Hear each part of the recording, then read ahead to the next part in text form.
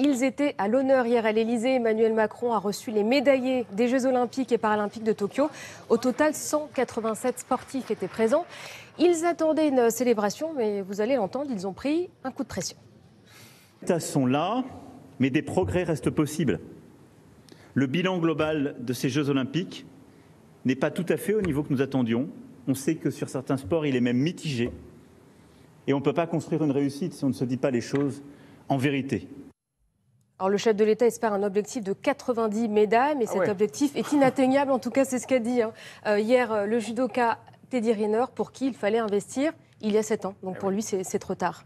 Emmanuel Macron met la pression aux sportifs français. À 3 ans des JO de Paris, le président a déclaré hier soir à l'Elysée, a décoré hier soir à l'Elysée les 189 médaillés olympiques, paralympiques, mais surtout il leur a dit qu'il fallait faire beaucoup mieux pour 2024 euh, et ça plaît pas vraiment au judoka Teddy Riner qui jette un froid en quelque sorte en expliquant que la France n'en est pas capable car elle ne met pas assez de moyens.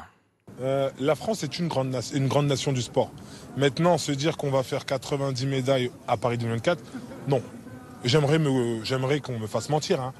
mais il faut euh, faire beaucoup plus de choses pour pouvoir prétendre à 90 médailles en 3 ans. Il fallait investir déjà 7 ans en arrière dans le sport, massivement confronter notre jeunesse à l'international. Alors on pourra toujours se cacher derrière le Covid.